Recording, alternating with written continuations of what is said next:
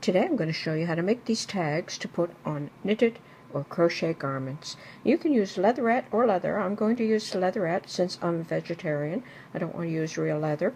Or you could use grosgrain grain ribbon or actually any kind of ribbon that you like.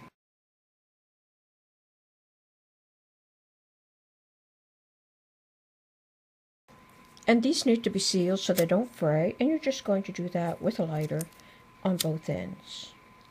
And today I'm going to show you how to make them with leatherette. And it's very easy. You're simply going to cut a piece from your faux leather or your leather, whichever you're using, like that.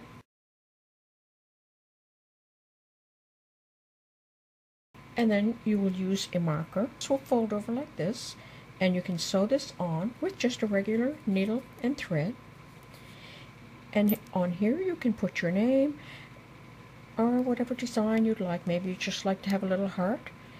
So all I'm going to do is put my initials here. Like that.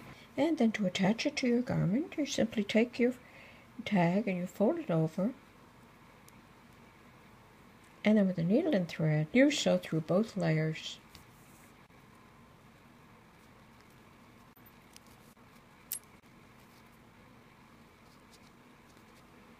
Like that. I hope you found this video useful. Thanks for watching. Bye for now.